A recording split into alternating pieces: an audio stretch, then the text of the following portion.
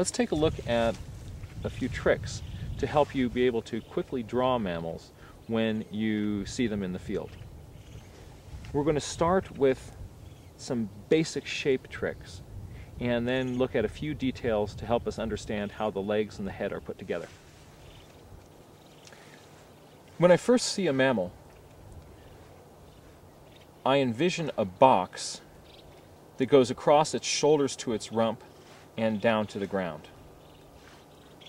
That gives me the general height of the animal relative to how wide it is. So if I want to draw that here on my, my piece of paper, I think about how tall is the animal versus how wide it is, from shoulder to rump, from top of hip, all the way down to the ground. The next thing that I look at is in that space, where is its belly?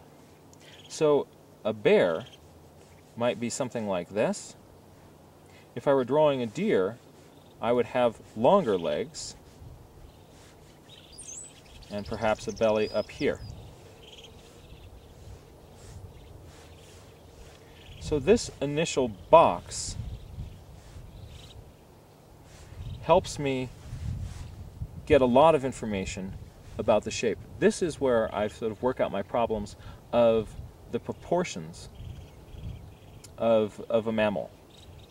How tall is it versus how wide it is, and at what point, how far down on that shape does its belly come? Mammals will have necks of different lengths. So the next thing I do is I think of how far away from this box of body is its head. For my deer, I'm going to put my head here. Again, these initial lines, you can do them lightly and loosely so that if you want to move something later on, um, you don't have to do a lot of erasing. Here I put a head on.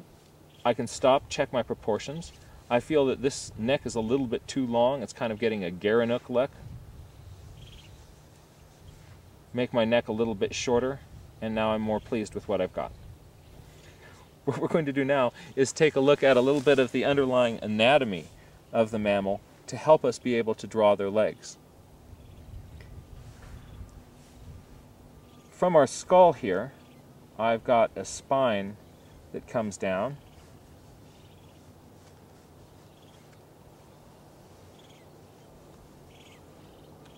At the back is a hip bone, and in the front is a shoulder blade, just like me. Also, just like me, from the hip bone, there's a femur that comes out, little kneecap. I've got a tibia and fibula that go back. Those are my back leg bones, so that looks very much like a human being. From the front here, on the front limb, I've got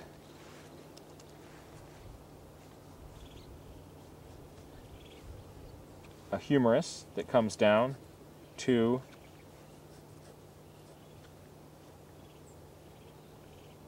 my radius and ulna. So the front part of the body here is just like a human being, because we all evolved from the same basic tetrapod ancestor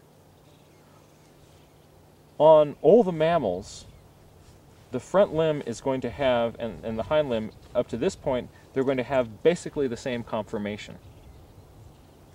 The difference in how to draw a bear versus a dog versus a deer is going to be what we do with the foot and the hand of the animal from this point on.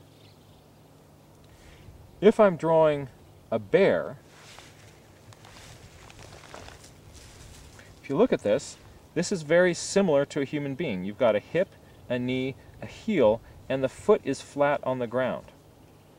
They have a shoulder, an elbow, and a wrist, and the hand is flat on the ground.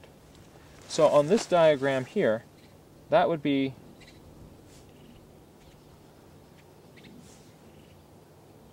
an animal holding its feet like that. So some animals have their foot flat on the ground. Thinking about what's going on with the underlying skeleton is going to be able to help you be able to draw this animal. If I'm drawing a dog or a cat, instead of walking flat-footed, these animals are going to be walking on their toes. So these bones here, the metacarpals uh, and the metatarsals, um, the metacarpals and the metatarsals, um, are going to be up off the ground. So you're going from flat-footed to walking on your toes, like this. On this drawing here, we've now gone up to our toes. Instead of being flat-footed, here's the foot bones. Here, you're walking now on your digits. Right. And what this does is puts an extra joint in the leg of the animal. You've got a hip and knee.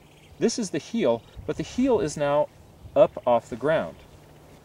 If I want to take this animal and turn it into a deer, what I'm going to do is just take its toes now and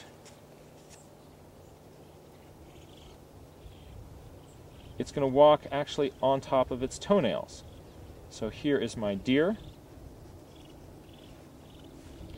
On the front leg, these bones here in the hand all fuse together into one long straight bone.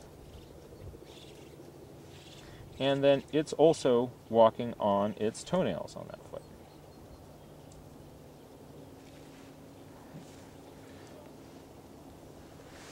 Deer uh, have a much more complex digestive system. They need to digest grasses, and that's a lot harder to digest than meat. So they have a lot of space inside their body for guts. Consequently, their uh, body is much deeper. Their rib cage drops down actually below the level here, or at the level of the knee and the um, and the elbow, so that when I'm looking at a deer, I don't see I don't see the knee joint and I don't see the elbow joint extending below the body of the animal.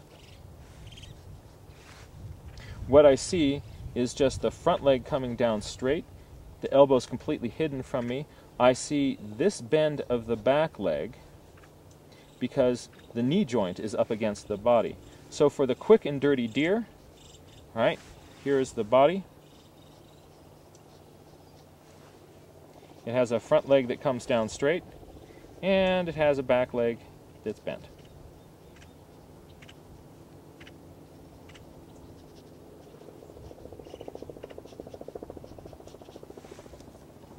So having an understanding of a little bit of the underlying anatomy here is going to help you be able to draw these mammals.